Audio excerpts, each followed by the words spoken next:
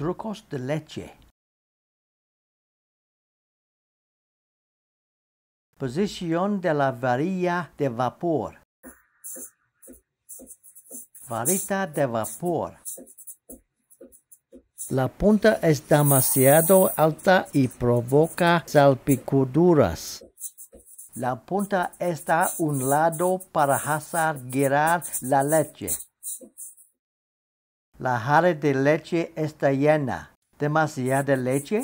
¿Casi lleno? ¿No a 50 grados? Vierta un poco, pero primero.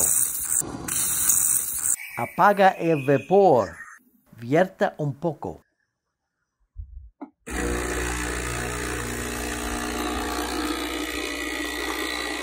Luego continúa. Varita de vapor ruidosa. Ruido fuerte al vaporizar. Sacar y poner. Ahora es menos ruidoso. Apague el vapor y luego apague la máquina. Apague el vapor.